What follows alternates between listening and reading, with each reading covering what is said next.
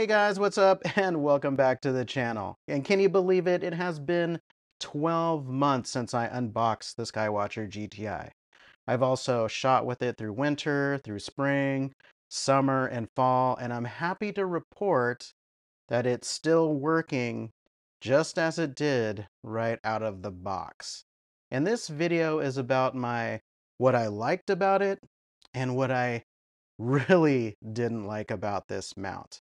But before we get into it, if you're new to the channel, I do have a playlist of Skywatcher GTI videos. This was actually a series. And I did an unboxing, I did an assembly. I also showed you what 11 pounds of payload looks like on top of the Skywatcher GTI visually. Because people that are new into astrophotography might not know what that actually looks like. It's actually quite a bit. I also made a video preparing you for your first night out. So what it takes to polar align and some basic skills you're going to need. And also I ran you a little bit through the SynScan app just to get you guys up and running really quickly. My other video was the first night out with it. What was the guiding results and what I got for my first shot of the night sky. And it turned out really well. So if you haven't seen those videos yet, I'll put that link in the description so you guys can check that out. Also, before we get into it, I want to actually talk about a few things. So let me put this little guy over here. Maybe, well, I want to put it over here. All right, first, before we get on with it, I want to address a few things. I want to address the two most asked questions about the Skywatcher GTI in my videos. The first one is, how do you mount a camera and lens on top of the Skywatcher GTI? And I've explained it a few times in the comments, but I thought it'd be really helpful to put this out on video. But what you're going to need is a Vixen style dovetail plate, right? You can get them on Amazon pretty cheap. Doesn't have to be this fancy. But this is just one off my regular telescope. And then you're going to need a quarter 20 screw. And you can get this at a hardware store. It's nothing special. Just make sure you get it at the length that you need it. I like it so it's just poking out there. I don't know if you can see it there, but maybe you can, maybe you can't. Uh, Yep, my camera's deciding not to work, but you you get the idea. And then here's your DSLR and also a camera. And it just screws into the tripod bolt. And now it's deciding to focus on that, didn't it? It's got a mind of its own. And then all you do is put these two things together. Maybe.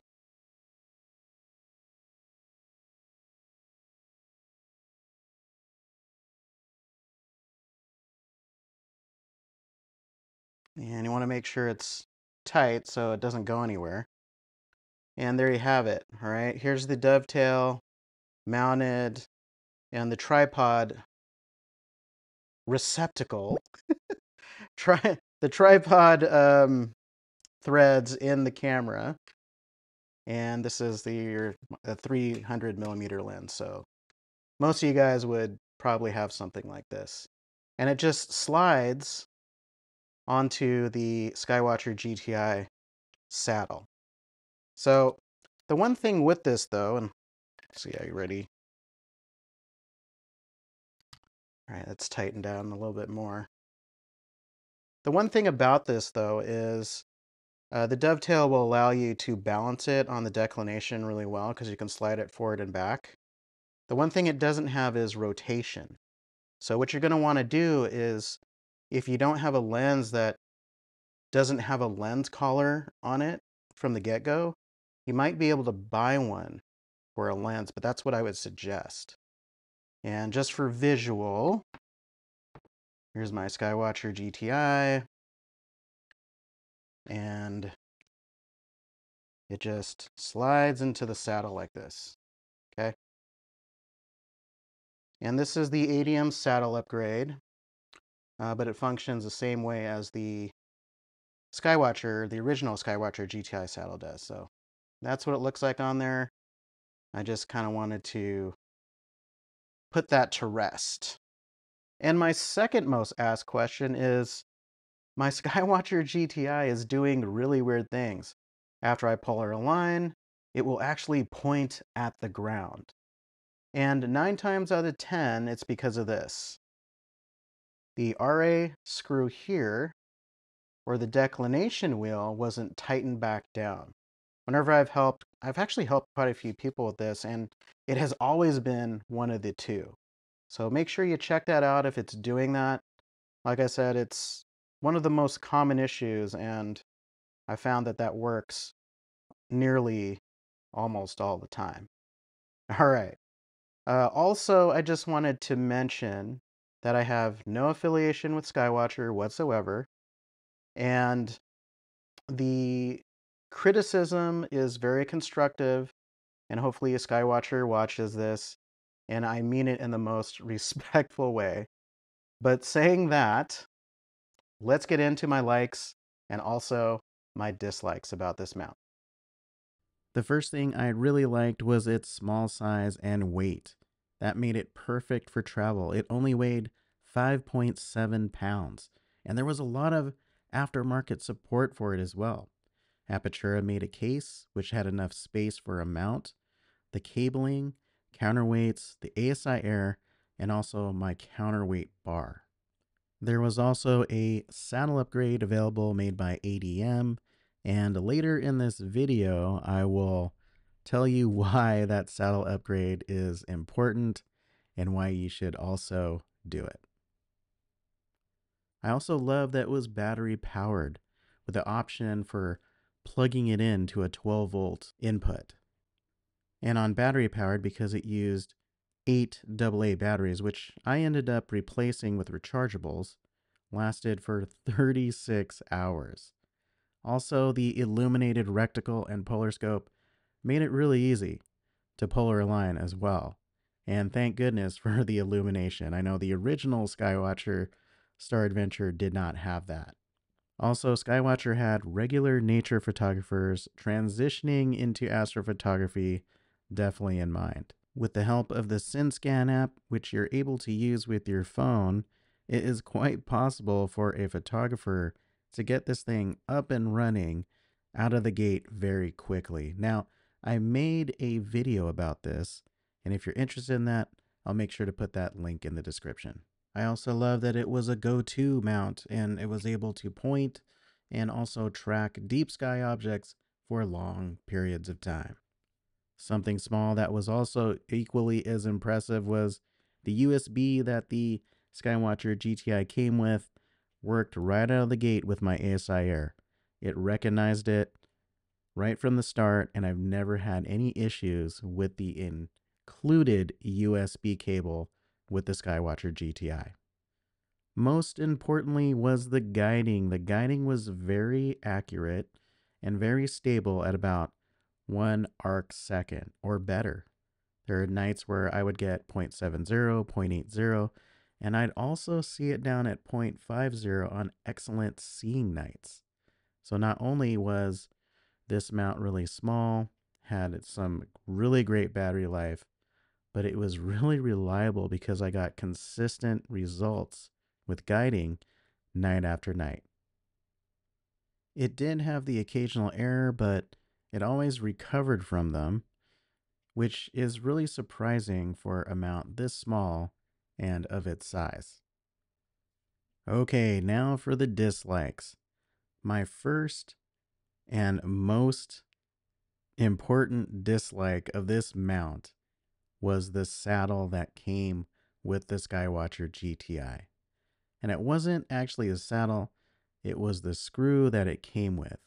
If you put your expensive telescope in there, and with the really nice dovetail it comes with, if you use the screw that Skywatcher supplied, it will mar up that nice dovetail.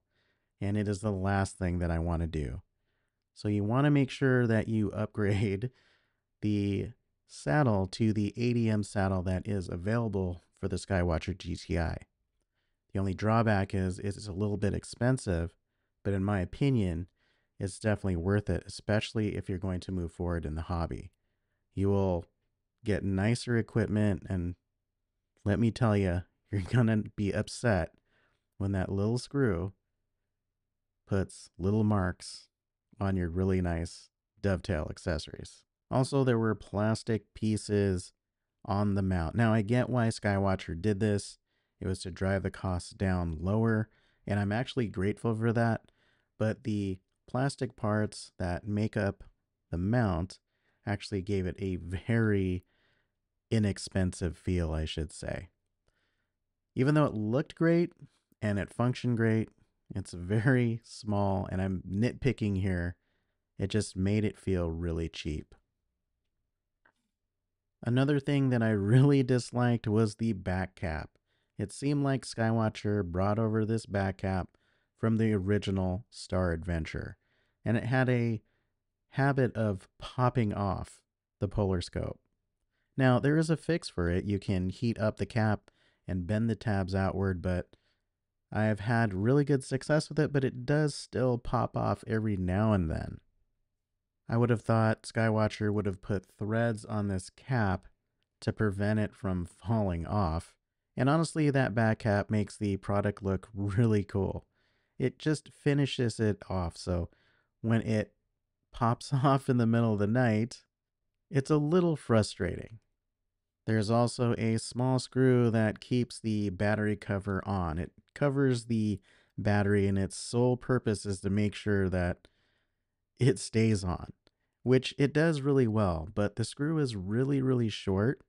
And because it's so short and the housing doesn't retain it in any way, it's really easy to lose. I've actually dropped it in gravel accidentally.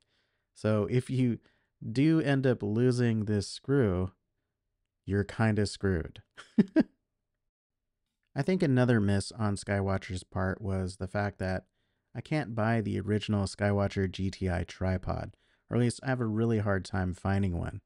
I actually had to buy the S20555 when my astronomical tripod failed. It would have been really nice for Skywatcher to make this available for people who either just bought the head mount or, in my case, had an astronomical tripod that ended up breaking and needed another one.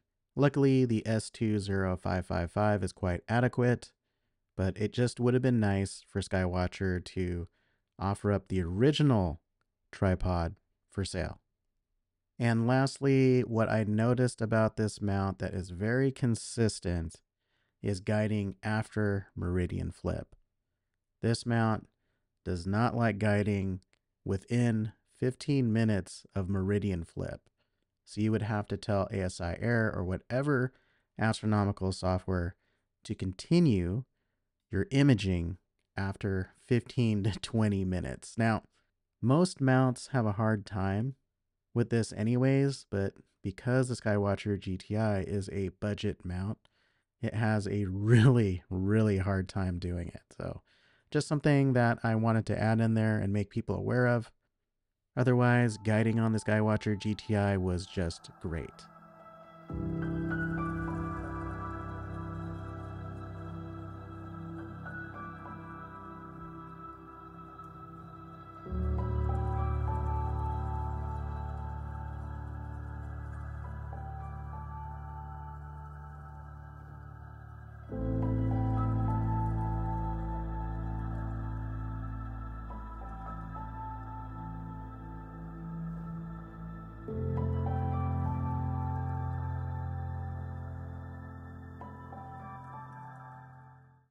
So after 12 months, what do I think about the Skywatcher GTI?